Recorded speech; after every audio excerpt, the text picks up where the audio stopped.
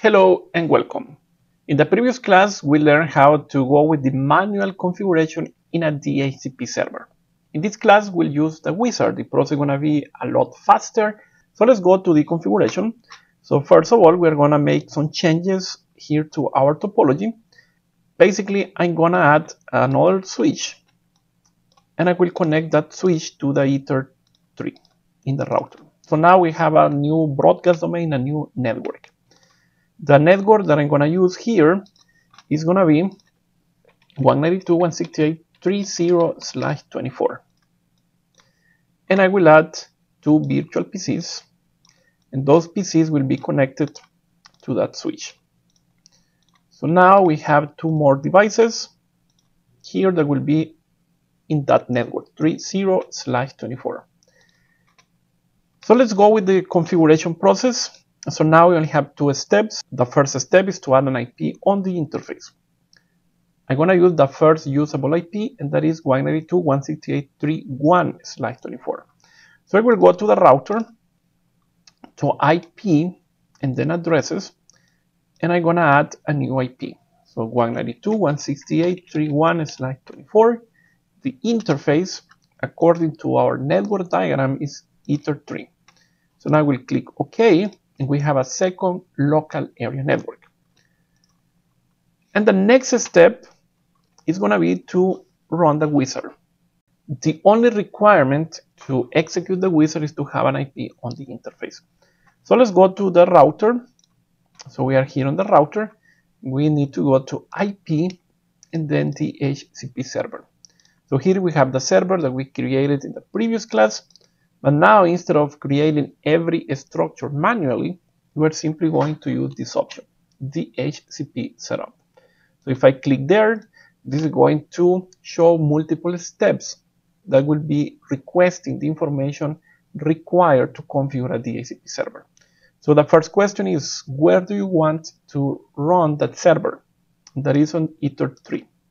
So I'm going to select the interface Ether3, then I will click next. Now it is asking what the DHCP address space. So this is basically going to IP addresses, it's checking the network and it's showing the network and the mask. If we don't have an IP, we're going to get an error in that step. So now this is the network, so that's fine. So I will click next. Now this is asking what's the gateway that you want to deliver or push to the clients. So that's 3.1 basically is the IP that we have on Ether3. So the router is going here and is taking that value and is putting that value there. So that value is good, so I will click on next. Now this is showing the range of IPs. You can see that the range is going from .2 to .254. Basically is uh, subtracting the IP that is on Ether3. So I'm gonna use the range from 100 to 199. So we can customize that range. Now I can click next. DNS servers, you can see those two. Those DNS servers are coming from IP DNS. So you see those values that the router has. Basically, the router is going to IP DNS and is taking that information and putting that information there. Now we can click next. Lease time by default 10 minutes. Let's say that I want to give one day. So I'm going to say 24 hours. Then I can click next. And now setup has completed successfully. So that means that now we have the server, we have that DHCP1 server, and that's it. We have configured a DHCP server in that device.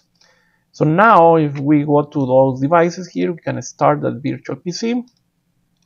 And if I go to the console and we try to get an IP, IP DHCP, you can see that that device is going with the DORA process and it's going to get an IP from that DHCP server. The IP is 199.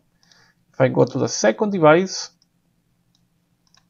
IP DHCP, you can see that this got the 198. So now we have those two devices with dynamic IPs. Those two on the network 30/24 and the two PCs on the right on the network 20/24. So now you know how to configure a DHCP server by using the manual process or by using the wizard. Thank you, and I see you in our next class, where we are going to give access to internet to those devices.